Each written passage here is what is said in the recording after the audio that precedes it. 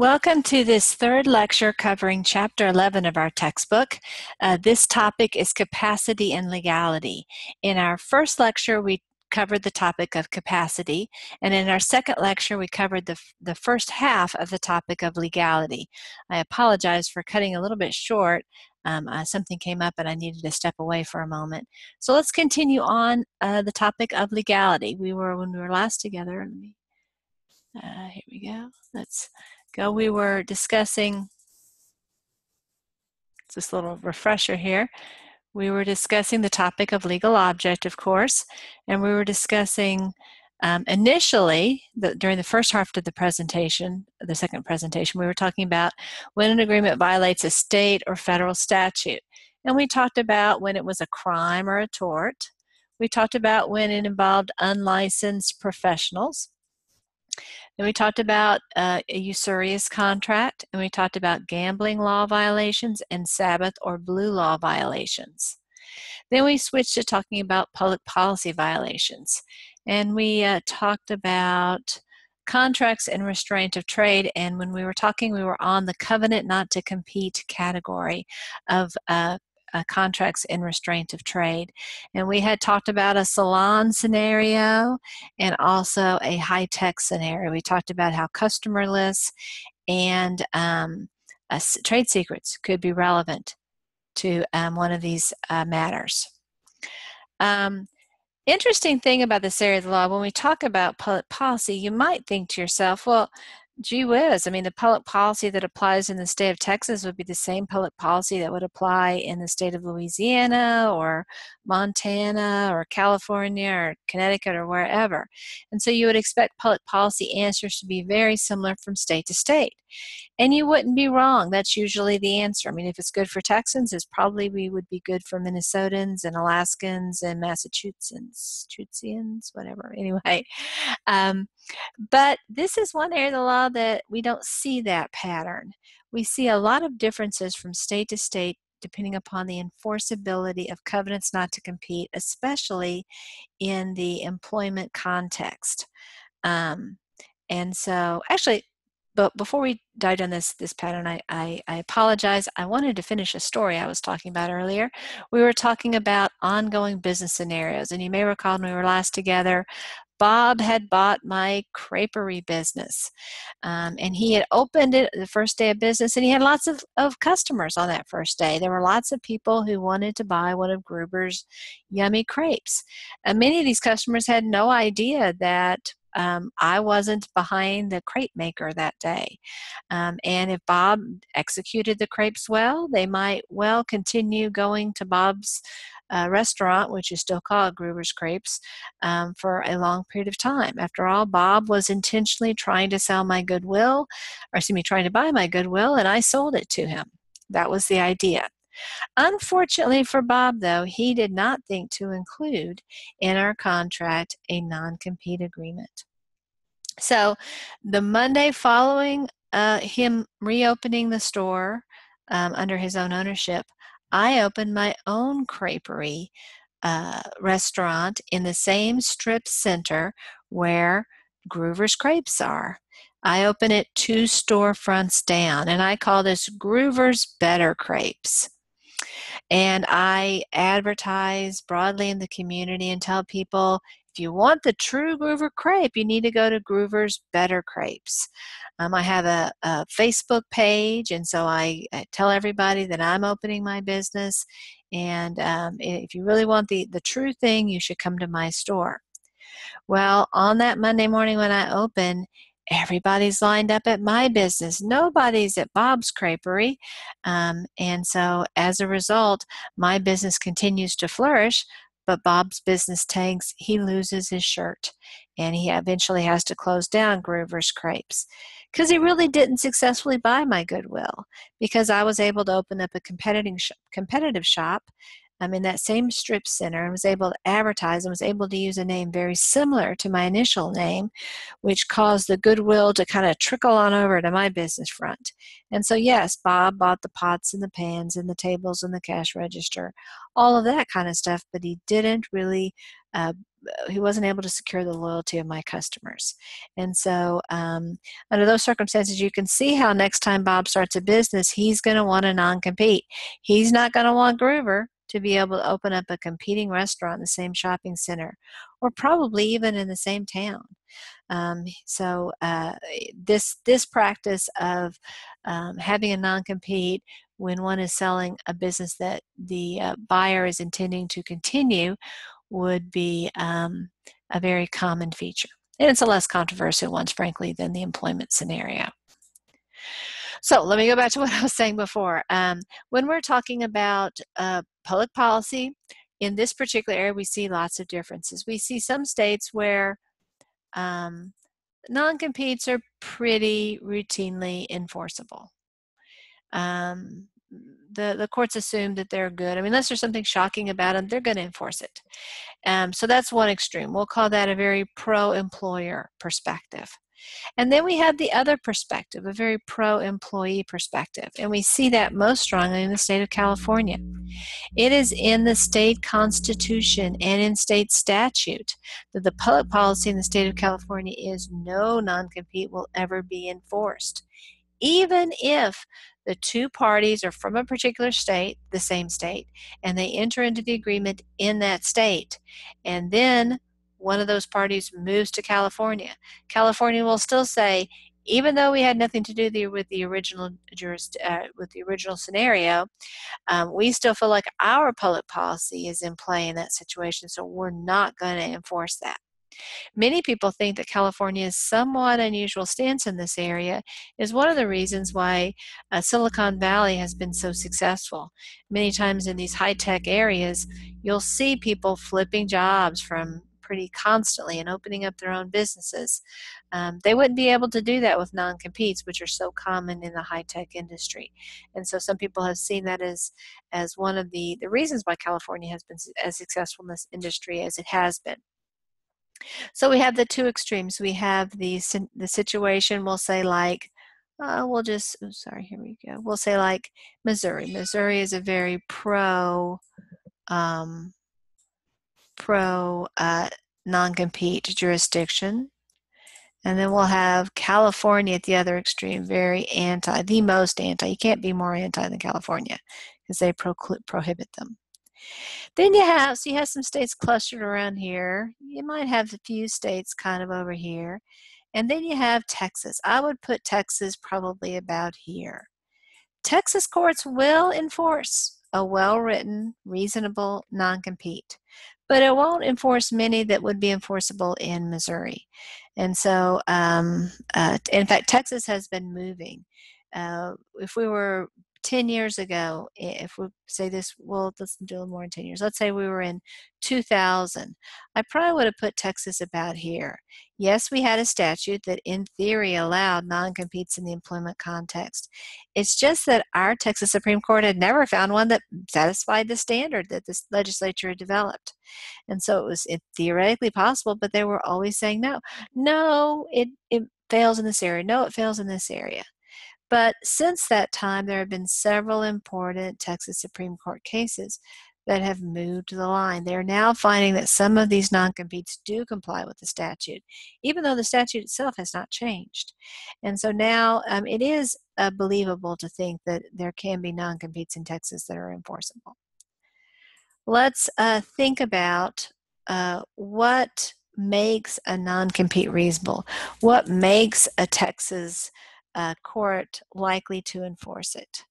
And by the way, before we go too far down this path, let me pause and say um, if you are an employee who is put in a position um, of deciding whether to sign a non compete or not, keep in mind in Texas that there is no impediment to the employer saying you have to sign this in order to maintain your employment. That's a very common uh, statement that an employer will make, and it's perfectly lawful in Texas. So if you say no, say no, pl- uh, please understand that you are likely not to be able to continue with your employment in that particular location. Other states don't necessarily permit quite that clear of a, of a choice being made. Um, as you move from state to state in your career, you will see the laws vary. Um, so, the state that you are in at the time that you sign the non compete can be important, and the state that you're choosing to move to can be important. This is a very uh, complex um, issue to, to think about, um, both from the perspective of the employer and the employee. Another issue that comes up in this area sometimes that's important to consider is the fact that let's say that I enter into a non compete with my employer and it's just clearly not enforceable. I mean, there's all kinds of legal problems with it. Maybe that's even one of the reasons why I sign the, the non compete because I recognize it's, it's garbage. It's not going to be enforced by a Texas court. Anyway, um, I uh, leave my employer and go to work for a competitor um, and and I'm violating the terms of the non-compete. But after all, it's not enforceable, so what do I care?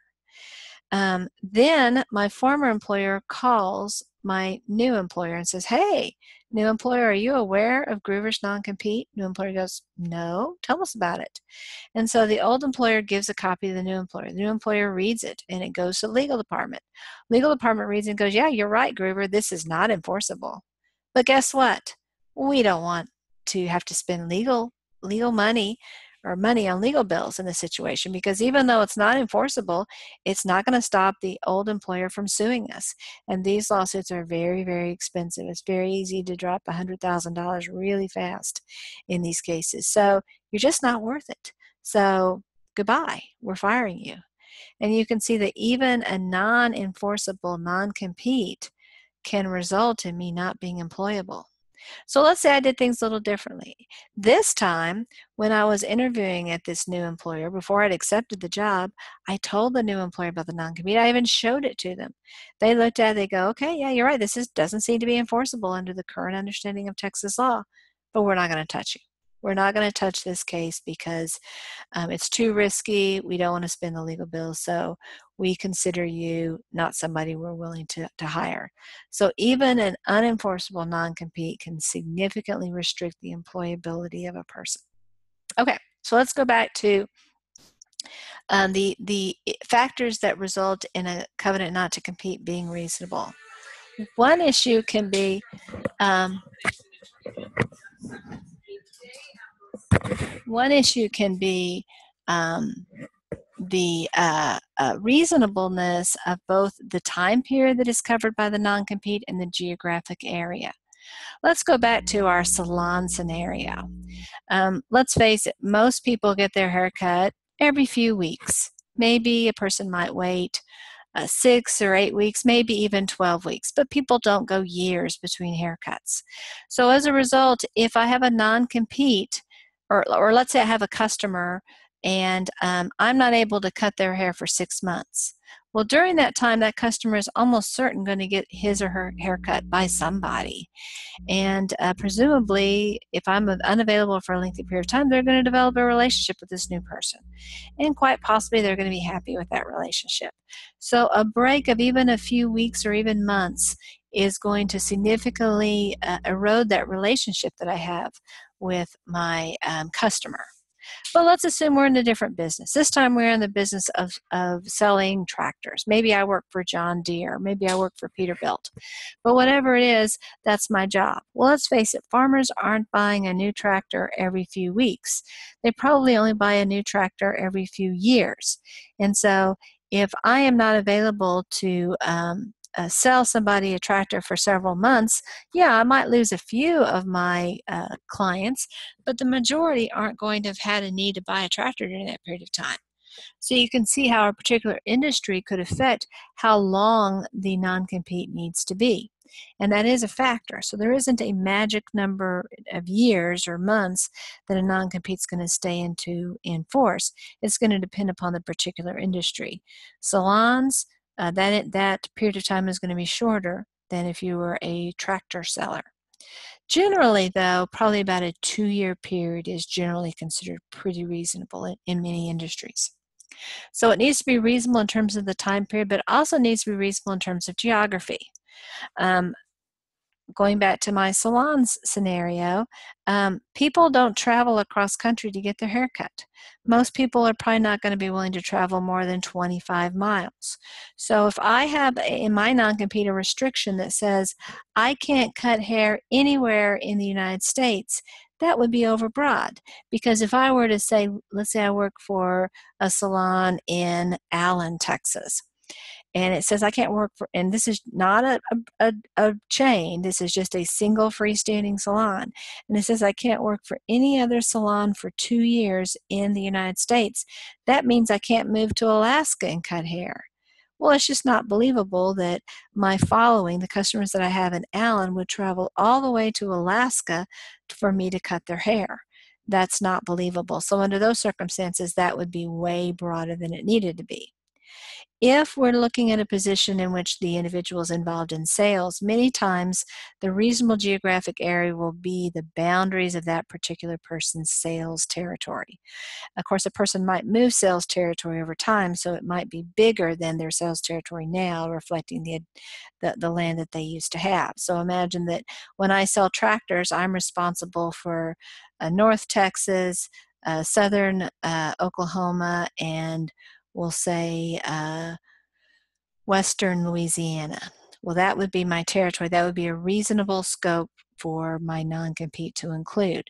So if Peter, if I work for John Deere and Peterbilt wants to hire me to sell tractors in California, it, or not, we'll not say California because that's a bad example, but we'll say in uh, Nebraska. Let's assume Nebraska has a, a pretty uh, willingness to in, enforce non-competes very likely the court would say, eh, there's no possibility that your customer list from your time in Texas, Oklahoma, and Louisiana will help you in Nebraska. And so the court might well say that, that uh, the, the geographic restriction should not be so broad. So we can see it needs to be reasonable in terms of time and geographically. It also needs to be reasonable in scope.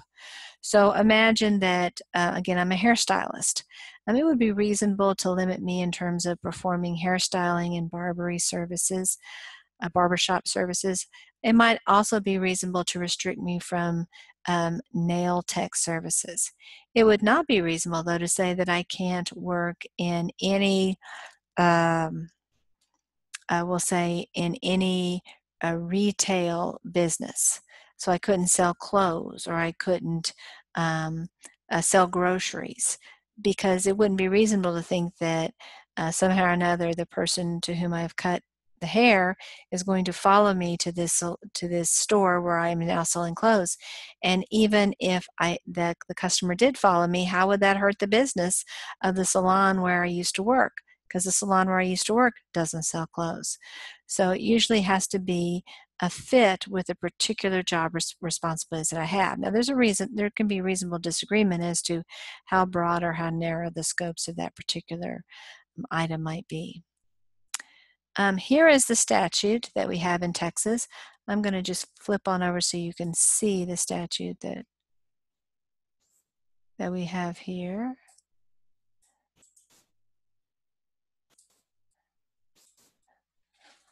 So going back to this, we're going to go to the Business and Commerce Code and we're going to go to chapter 15.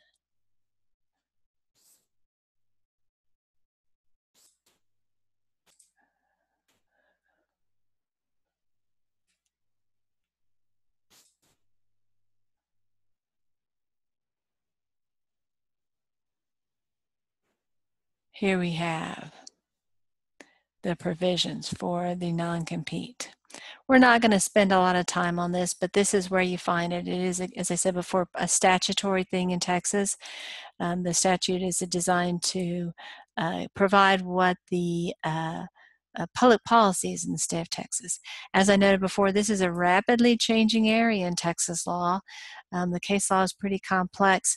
The statute itself isn't that helpful because what the Texas Supreme Court did in terms of interpreting it has sometimes been a little bit surprising. So you need to not just look at the statute, but also consider the case law. Okay, so now we're going to consider another area of public policy concerns. Let me just go back and go over our list that here that we have. So we're talking about public policy.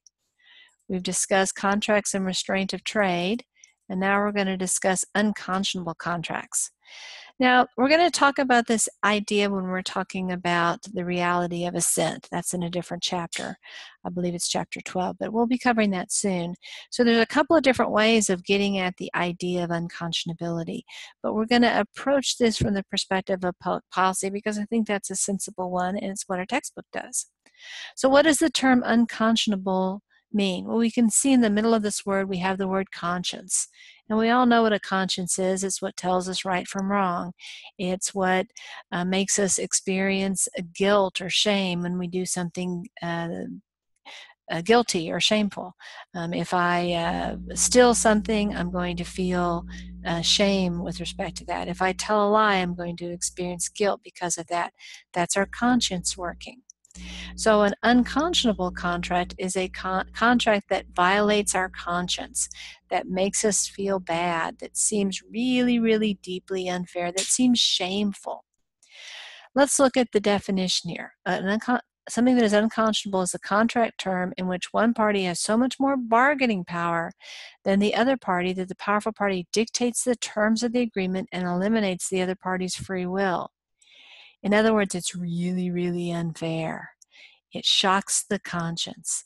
It is uh, very uh, deeply disturbing. Uh, the common law prohibits unconscionable contracts, but also the Uniform Commercial Code uh, also prohibits unconscionable contracts. You don't need to know the specific section of the UCC, but you can see it's in Article 2, where the, the sales uh, contracts section. There are two ways that we can look at unconscionable contracts. One is we can look at procedural unconscionability, and we can also look at substantive unconscionability. Okay, let's look at first procedural unconscionability. This happens when there is a procedure associated with the contract that, be, um, eh, without looking at the substance, just the way the contract is presented is deeply unfair imagine that I uh, imagine that you uh, only know how to read and, and speak English. I put a contract in front of you that is written in Serbo Croatian. Um, you look at it um, and you don't know any of the words. You have no idea what it says. You say, uh, uh, okay, do you have this in English? Nope, only have it for you in Serbo Croatian. Uh, can I hire a translator? Nope, you sure can't. Uh, can I think about this for a while? Nope, you need to make your decision right now. Either sign it or don't sign it. That would be procedurally unconscionable because I haven't given you an opportunity to even understand what you're committing to. Now, obviously, that situation is pretty extreme. but we can see um, kind of uh, smaller examples of that. A, a, contract that is written in very legalistic terminology, legalese, um, where lots of legal terms are thrown around, maybe Latin expressions are present. And the person who is being asked to enter into the contract is a layperson, maybe a person who only has a high school uh, degree. And so this person really lacks uh, the understanding of the law, this vocabulary, this terminology to even make sense of what it requires. Well, for him or her, that would be a procedurally unconscionable contract. An example of a category of contracts that um, can be unconscionable are adhesion contracts. I use the word can very carefully though because most adhesion contracts are perfectly lawful. In fact, it's pretty rare that one is held to be unconscionable. But the fact that it is an adhesion contract is one fact that pushes it more towards unconscionability than it otherwise might be. So, what is an adhesion contract? This is a contract that one party, one of the two parties, creates the contract and that was refuses to negotiate over. He goes, Listen, either sign it or don't, your decision, but you can't make any changes to it. I'm not going to negotiate with you over paragraph 47 or 92 or anything like that. Uh, that's an adhesion contract. Now, you're probably thinking to yourself, well, gosh, I've entered into lots of those contracts. When I signed the lease on my apartment, I wasn't able to change any of the terms. Uh, when I signed my cell phone agreement, I couldn't negotiate over that. Uh, when I uh, clicked on that ClickWrap agreement on my computer, I didn't get the option to say, well, let's negotiate over this clause. And you're right. You and I all the time enter into adhesion contracts. Of course, in the vast, vast majority of those cases, uh, those contracts have been lawyered up to a very, very high extent. Uh, the legal staff of that company has thought about this from every angle to make sure that even though it's an adhesion contract, the courts are very likely to hold it to be procedurally not unconscionable but it is a factor to consider and it can be especially when other factors are present can be a basis for having it found to be unconscionable let's think about substantive unconscionability. This is probably more what we think about when we think about unconscionability. This is when it's we're actually looking at the substance of the contract itself the actual terms the nitty gritty. Um, how much money am I going to have to pay to get what kind of service? Um, those types of things. And we talked before about how the court doesn't want to be a nanny. The court is not going to be there saying, Gosh, Bob, you didn't negotiate a very good deal. Uh, we're going to help you out. We're going to renegotiate it for you. No. The court's going to say, Bob, guess what? You did a bad job negotiating, and this is the penalty. You're stuck with a bad deal. Next time, man up do a better job. Learn from this experience. I'm not your mommy. I'm not your nanny. You know, you're an adult. You need to do a better job. Don't ask me to fix your problems. But when it's really, really, really, really shockingly unfair, um, the courts may step in.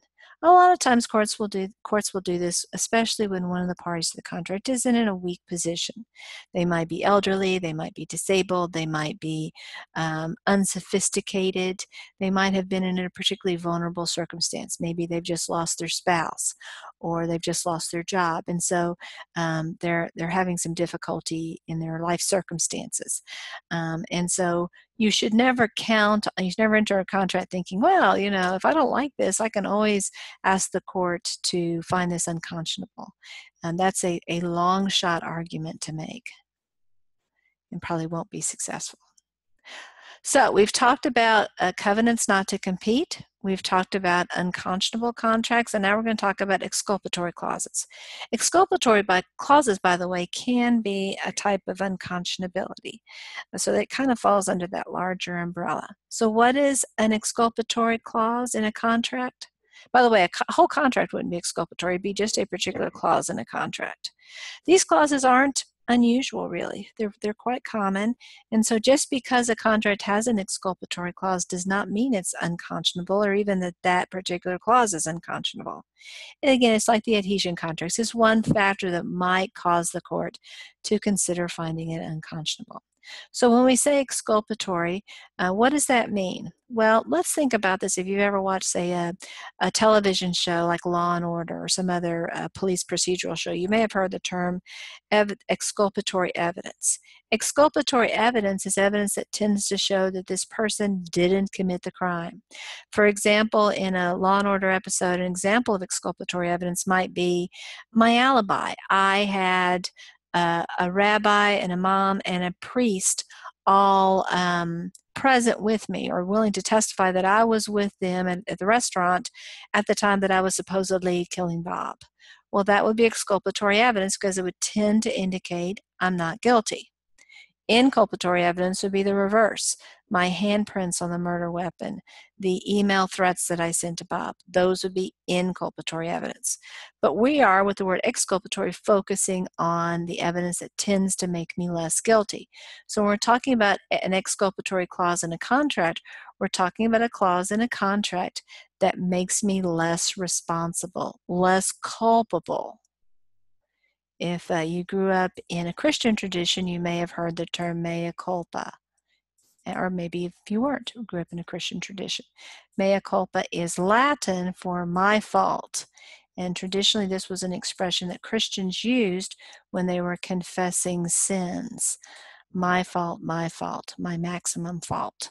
Um, and so you can see here exculpatory ex means out of out of fault. So a clause that removes the fault that that person has. In other words removes the liability that that person has. So imagine i have a um, a dry cleaning establishment.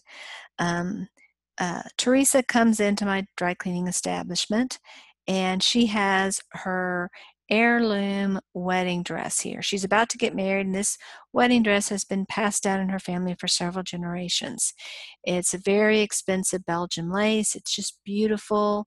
It's in mint condition. Um, it's just a lovely, lovely dress. If you were to try to buy a dress like this today, it would be several thousand dollars given the, the intricacies of, of all of the, the lace. Anyway, she would like for me to clean it and do a few minor repairs and also alter it to, fi- to fix to fit her figure. And I, I not only do dry cleaning, but I also do alteration. So I say, that sounds good. I look it over. We identify the few places that there might need to be some fixes.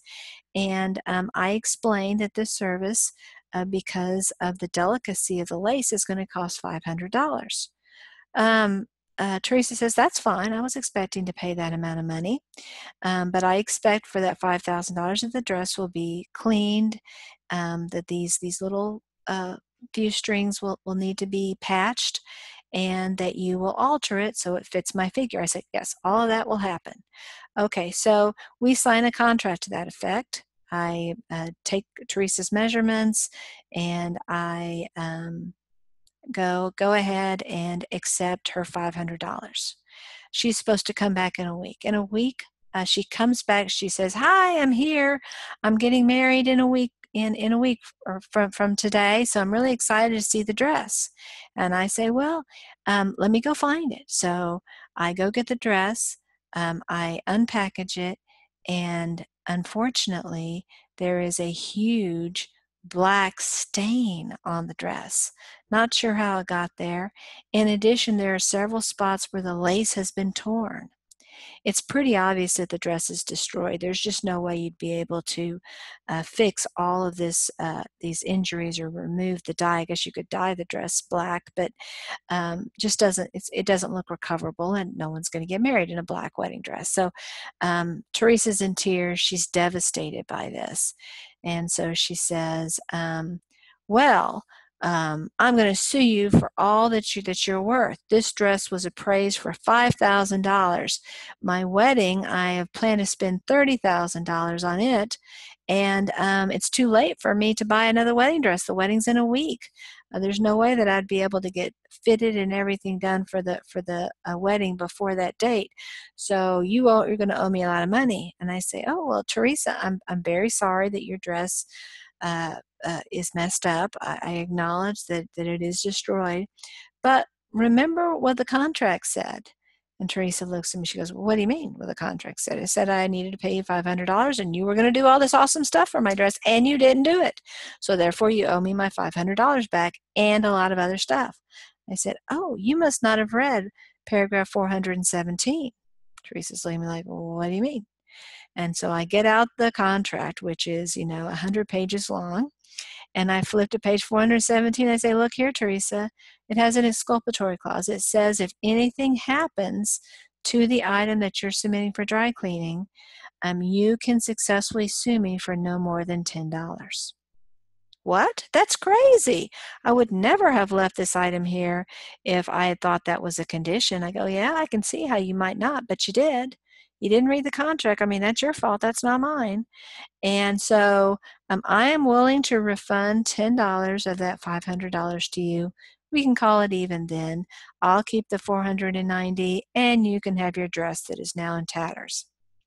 That's an example of an exculpatory clause. Uh, most courts would say that that would be unconscionable.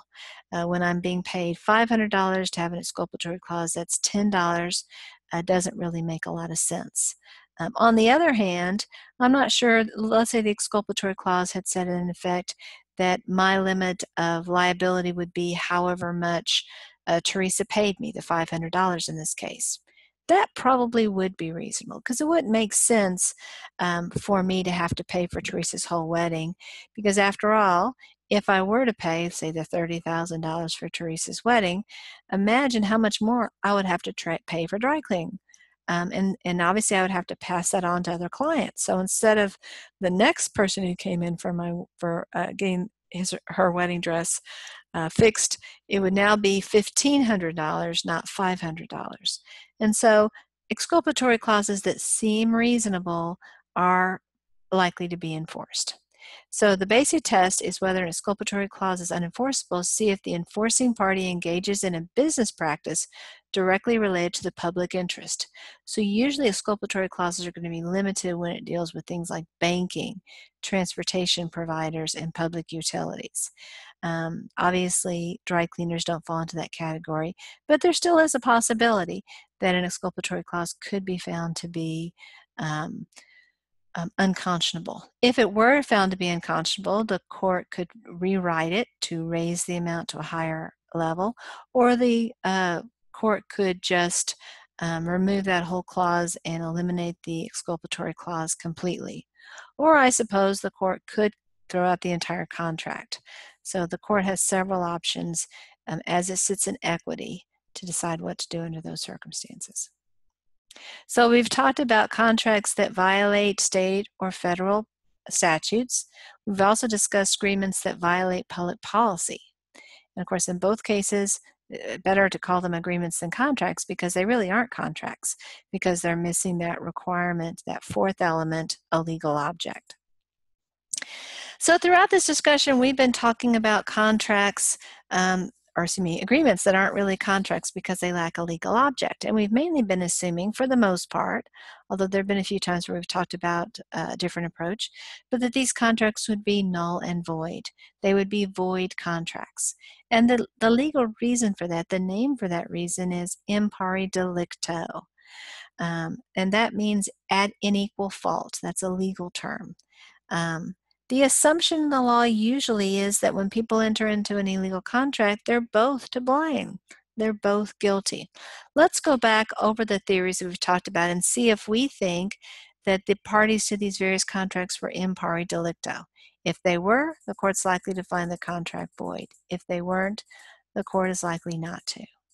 So starting with a contract to commit a crime, clearly in pari delicto a contract to commit a tort, clearly in pari delicto.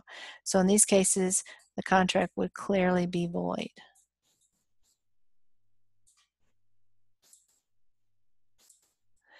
Contracts with non-licensed professional. This is going to depend, but probably more likely than not, the non-licensed professional isn't going to be able to enforce the contract, but the victim of the professional will be able to enforce the contract. And sometimes even the non-licensed professional, for example, my fishing guide, might be able to enforce the contract, especially when the license requirement wasn't for public safety or something like that, but was a means for the state to raise revenue. Usury. Again, these types of contracts are going to be void for the um, lender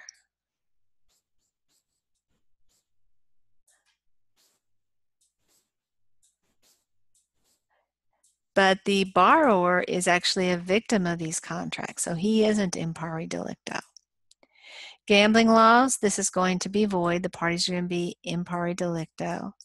Sabbath laws, though, probably not. Um, probably uh, just the business that stayed open in violation of law. And even there, I'm not sure that the courts wouldn't go ahead and enforce the contract um, even if the vendor or the car dealership or the liquor store in this case violated the rule. Uh, contracts and restraint of trade, again, usually these are going to be void.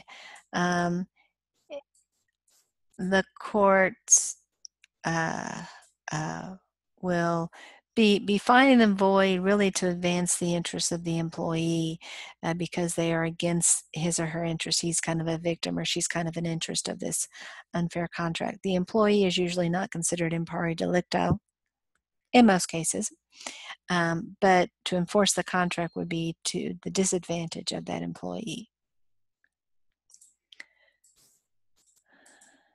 And then we have unconscionable contracts. Again, this is not an example of in pari delicto, but those contracts would be void because the person who is the bully in the situation um, uh, should not benefit from the um, unfair contract.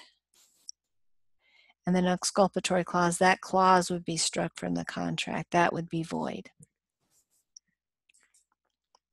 So let's talk about a scenario in which in pari delicto doesn't exist.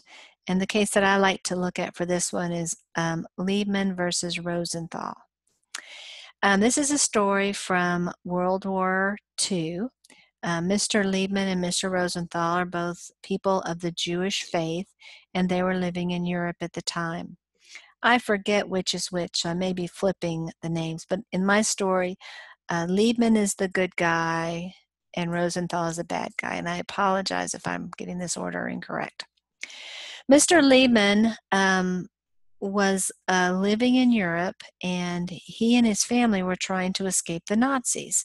As I'm sure you know, uh, during World War II, uh, the Germans uh, killed many people of the Jewish faith, um, and so Mr. Lehman was aware that his and his family's life were in great danger. So he took everything that the family had um, the jewelry, the cash, the the other items of value that he had, and they he traveled westward across Europe, kind of staying one step ahead of the Nazis, knowing that if the Nazis caught up with him, they would um, take him probably to a concentration camp, and he and his family would be killed. Mr. Lehman somehow makes it to Portugal, and he uh, finds Mr. Rosenthal. While Mr. Rosenthal is also of the Jewish faith, um, he uh, uh, isn't a good guy in the story. Um, he uh, says to Mr. Lehman, Lehman, you can't get out of Europe. Uh, you don't have the right papers. Nobody is going to let you flee. Um, so the only way that we can get you out is if we forge the documents that are going to get you out of the country. And in order to do this, I'm going to need some money from you. I'm, I'm, going to have to bribe some people to get the right forms. And so I'm going to need a lot of money from you in order for this to be accomplished. Well, um, essentially, what this was was uh, forgery and uh, bribery. Obviously, those are two crimes. And so Mr. Liebman agreed to this scenario. So he was agreeing to illegal behavior. Mr. Rosenthal takes Mr. Liebman's money, um, all the all the things that Mr. Liebman has, and he leaves with the money, and he does not give Mr. Liebman any of the documentation that Mr. Liebman was seeking. So now poor Mr. Liebman is in Portugal with no money and no way to get out. But somehow or another he does. I don't know that part of the story, but somehow or another he is able to escape the Nazis and he and his family gets to New York City. And now the war has concluded, and he's walking down the street, a street in New York City, and he sees Mr. Rosenthal. He's flabbergasted. He had assumed that Mr. Rosenthal was still in Europe. Perhaps he had been killed by the Nazis. Um, and so he confronts Mr. Rosenthal and says, Rosenthal, you owe me that money. You took that money from me that was for my family, and you did not give me the documentation. Mr. Rosenthal said, Well, Mr. Liebman, you're right. You did give me the money, and I didn't give you the documents that I promised. I breached our agreement, but our agreement was unlawful. It was for an illegal purpose, and so therefore it was not an enforceable contract. I don't have to return my money to you. Well, Mr. Liebman agreed, and he sued Mr. Rosenthal in court. And uh, uh, Mr. Liebman was successful. The court said, yes, that type of contract traditionally would be a situation of in pari delicto. Both parties are agreeing to violate the law. But when one considers that the Liebman's lives were hanging in the balance and that there was no meaningful legal system that would protect them, um, we do what we have to do to survive. And so um, it's not fair to say Mr. Liebman was in pari delicto with Rosenthal. Therefore, Mr. Rosenthal needs to return the money. So there are situations like when I go to the doctor who really isn't a licensed physician where um, an illegal contract can be enforceable because of a lack of in pari delicto in one party's hands. And I have the, the dirty hands here to reflect the fact that um, this means that neither party has clean hands. Both of them have some responsibility. We wouldn't say that of Mr. Liebman, he was just doing what he had to under difficult circumstances but we would say of that of Mr. Rosenthal. Okay, so when the parties are not in pari delicto, Um, this arises when a member of a protected class is involved in the agreement that contradicts the statute. Again, that's a situation where I go to a doctor thinking he's a doctor, but he's really not. I'm protected in that situation. There can also be a situation where there's justifiable ignorance of facts. Now, it's never okay to be ignorant of the law. I know that's kind of a silly idea that we all know the law perfectly. Not even um, attorneys know the law perfectly, but the idea exists that somehow or another we ought to know the law perfectly. Um, and so we, uh, we, we put that obligation on us, even though it's not reasonable. Um, but we can be ignorant of facts. So let's imagine uh, this scenario. Uh, we'll go back to the situation in which I um, uh, had that. Agree- uh, I'm back in my state where I attended college. I'm still 18 years old. I enter into a contract with the beer distributor to drop off that keg for a period of 12 months every Friday. Uh, but when I enter into the contract with the beer distributor, the beer distributor asks for a driver's license from me. I actually have a fake ID. Um, the state that I originally came from, uh, you had to be 18, excuse me, 21 to drink alcohol. So I had this fake ID. And it's a very, very believable fake ID. I mean, it was very professionally done. They look at it, they say, okay, this looks legitimate. They make a copy of it. They have in their records that, in fact, I am 21. Well, I'm really 18, but they don't know that. Um, it's not important that I be 21 yet because the law in this state is 18, so they really don't even think too much about it. After all, there would be no need for me to have a fake ID that says I'm 21. All I need to be right now is 18. Well, again, the legislature comes into session. They pass this law raising the drinking age to 21 while we're in that 12 month contract. Um, Uh, what the, the beer distributor should have done is stop delivering the beer to me. And that's what it would have done if it had known I was really 18. But my fake ID was so credible that they assumed, hey, Gruver's 21. This change in the law doesn't affect her. We can continue to deliver the beer. In that situation, I'm clearly uh, at fault. I knew that I was giving a fake ID. I knew that I was not supposed to continue to get the beer um, after the law changed and I was still 18. But the beer distributor, we could say, had a justifiable ignorance of that fact. So we could say that it is not in pari delicto. In that situation, let's say that it continues to deliver the bills, but I stop paying for it. And because of the, their billing cycle, they actually deliver some kegs before they realize I'm not going to be paying anymore. So they want to sue me for it.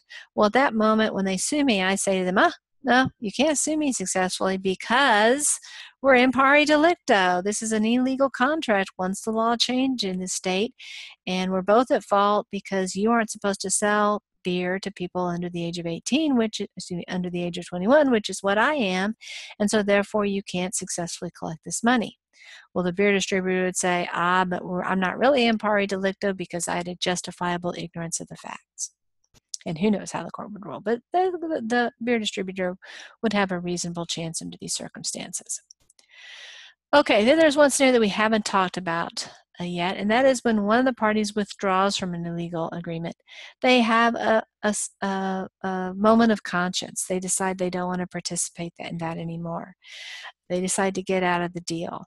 In that situation, as long as they withdraw before any illegality has occurred, then the courts will say they are not in pari delicto. Uh, imagine that you and I are planning on robbing a bank. Um, we have um, uh, taken steps to kind of plan out. We've cased the bank. We've decided a strategy as to how we're going to do this. And um, you happen to have more money than me, so you have uh, given me some money to go out and buy a car that we will use as our escape vehicle.